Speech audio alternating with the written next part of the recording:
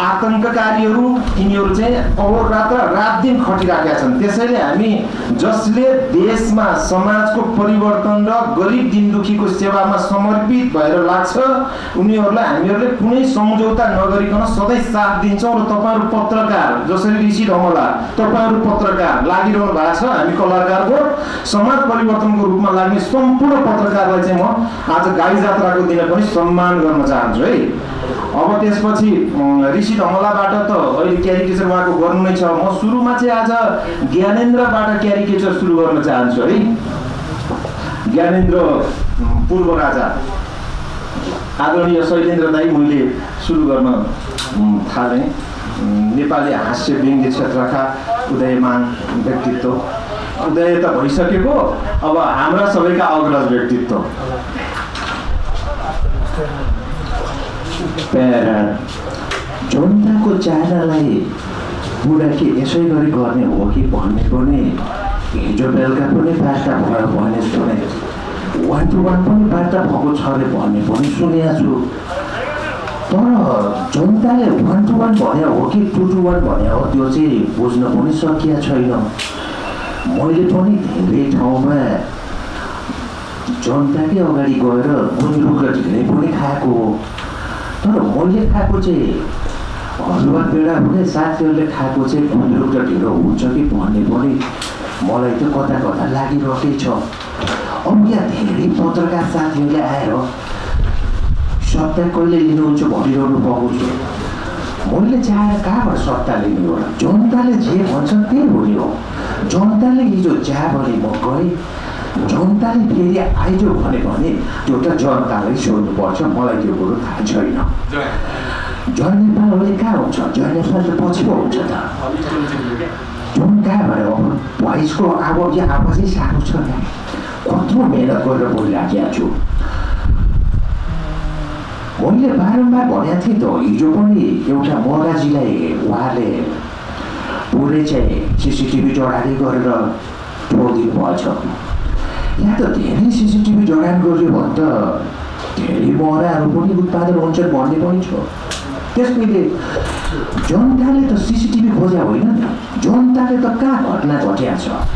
मान्छे कहाँ निस्केर कहाँ जान्छ कतै राज्य सत्ता सञ्चालन गर्नेहरू यस्तै मात्र कुदिराखेका छैनन् भनेर पो खोज्या हो कि? भन्ने पनि मलाई लागेको छ।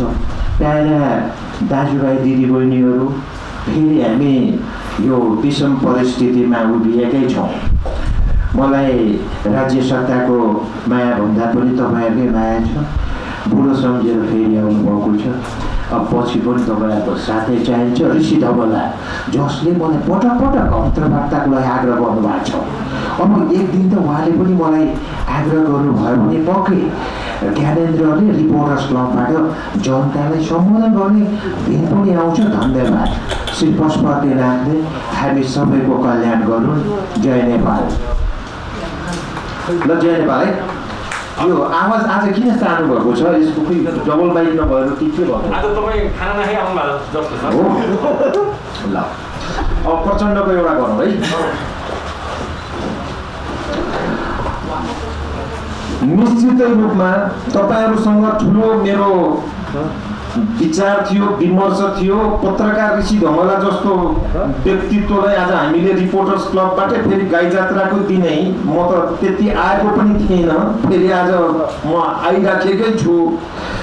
मेरो र केपी ओलीको बिचमा धेरै वार्ताहरू भयो तर वार्ता भङ्ग गर्ने काममा मेरा दुई सहकर्मी साथीहरू कता कता माया गरे जस्तो पनि गर्ने कता कता खुट्टा काटिदिने लाए जस्तो पनि गर्ने गरे त्यसैले मलाई बहुत चिन्ताको पनि महसुस भएको छ बडा घमण्डको पनि कहिलेकाहीँ महसुस हुने गरेको छ मैले चौबिस घन्टामा बाइस घन्टा त यो मदानी मोत्ने काममै म लागिराखेको छु फेरि वास्तवमा कहिले पनि त्यो घिउ चाहिँ आउँदै आउँदैन अनि घिउ नआउने भएपछि कतै जिउै पो बिग्रिने हो कि भन्ने पनि मलाई भइराखेको छ साथीहरूको पनि कहिलेकाहीँ घिउ नखाँदाखेरि जिउ बिग्रियो भने पातलो ज्यान लिएर यसो हिँडिराख्या जस्तो पनि गर्नु भएको मैले सुनिराखेको छु मलाई साढे दुई वर्षमा सत्ता चोर्छु भनेर हिजो त्यत्रो जेन्टलमेन एग्रिमेन्ट गरिदिइसकेपछि अहिले फेरि साढे दुई महिना कटेपछि त कुरै मिल्दैन।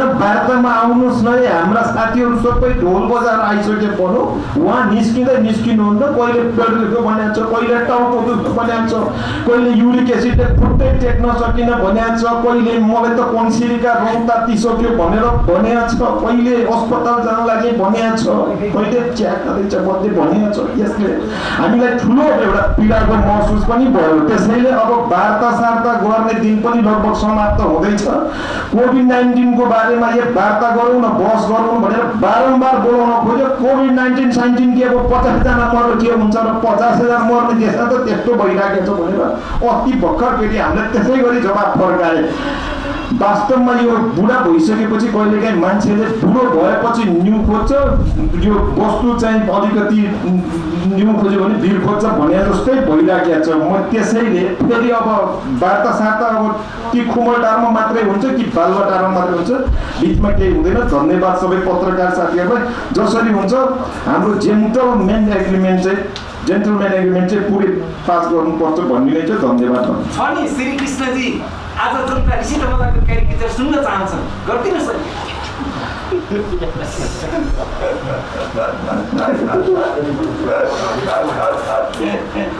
म भन्न चाहन्छु तपाईँहरू कहाँ हुनुहुन्छ? बिचमा आइदिखेर हुनुहुन्छ शैलेन्द्र सिंहखडा। शैलेन्द्रजी आराम हुन्छ जनता जान्न चाहन्छ तपाईँले भनिसक्नुभयो। प्रधानमन्त्रीले त सत्ता छोड्नु भन्छ नि के गर्नु त तपाईँ के गर्नुहुन्छ जनता जान्न चाहन्छ अब सिधा हाम्रो कुरो जाँदैछ उता जुम्लातिर जाँदैछ जुम्लाबाट हाम्रो सम्पर्कमा आउँदै हुनुहुन्छ फलानु थ्याङ्क यू अब यो क्यारिकेचर हो है। अब म एउटा सानो कविता यहाँलाई टाइम छ म प्रस्तुत गर्न चाहन्छु यो चाहिँ कविता या गीतको रूपमा यहाँले लिदिनु होला। आज स्पेसल मैले यही बनाएर लिएर आएको छु सम्भवतः यहाँ प्रस्तुत गर्नलाई। वामदेव खान्थे बच्चामा अब मिल्छ है साथीहरू प्रकाश। वामदेव खान्थे बच्चामा किरिम्रो राजनीतिमा उही वामदेव डबल रोल। राजनीतिमा उही वामदेव डबल रोल वामदेव खान्थे बच्चामा किरिम्रो राजनीतिमा उही वामदेव डबल रोल राजनीतिमा उही वामदेव डबल रोल बुढेसकालमा बुढेसकालमा विद्यामा पढ्दैछु किताब भने है बुढेसकालमा विद्यामा पढ्दैछु। विद्या समय पलङमा लड्दैछु। विद्या समय पलङमा लड्दैछु। निन्द्रा लाग्छ नि किताब समाज होइन? त्यही भन्नु खोजेको। सिसिटिभी फिट गरेर महरालाई ताके। सिसिटिभी फिट गरेर